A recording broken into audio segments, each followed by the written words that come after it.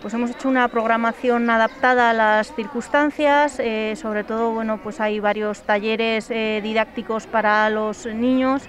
eh, con aforo limitado, son eh, restringidos a 15 personas cada uno de ellos y en los cuales pues eh, hay una variedad pues de, juegos didácticos, de hacer una felicitación de año nuevo, hay varias opciones pues sobre todo para que puedan estar entretenidos, también un concurso de pintura rápida, tenemos también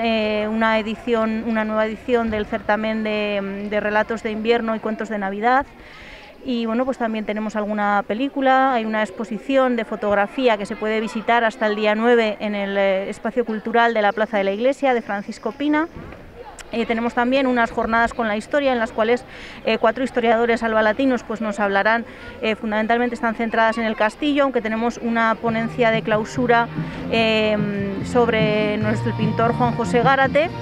y eso pues eh, también contamos con la colaboración de distintas asociaciones como el Cachirulo de Albalate que ha eh, actuado esta mañana aquí en esta plaza y han venido a cantar a los abuelos de la residencia. Y luego han realizado una ronda nocturna y también eh, el AMPA que, que es la que ha organizado este, este acto que tenemos en este momento que también los niños de eh, vienen a cantarle a los ancianos y a cantarles pues unos animados villancicos. Pues bueno, a ver, lo que intentamos un poco es eh, animar a los niños a, que hoy le vayan a cantar a los abuelicos de la residencia. Eh, luego iremos a entregarles la carta al paje real y un poco pues ayudar, colaborar con el ayuntamiento en actos navideños para los niños. Pondremos unas películas navideñas, eh, ayer les hicimos la chocolatada de fin de curso y luego esperar, habrá también algunos talleres navideños hasta el día de la cabalgata, si podemos hacerla.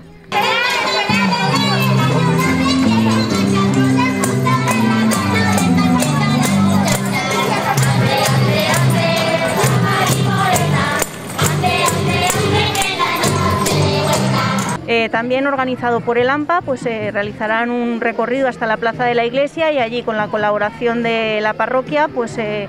vendrá el paje de sus majestades los Reyes Magos de Oriente y todos los niños de Albalate, pues ahí podrán depositar sus cartas para pedir sus regalos a los Reyes. Días con nervios porque no sabemos pues, lo que se puede, lo que no se puede hacer, los niños tienen ganas de hacer cosas y todo lo que podamos, pues en la Junta del AMPA ayu- colaboraremos con lo que sea necesario.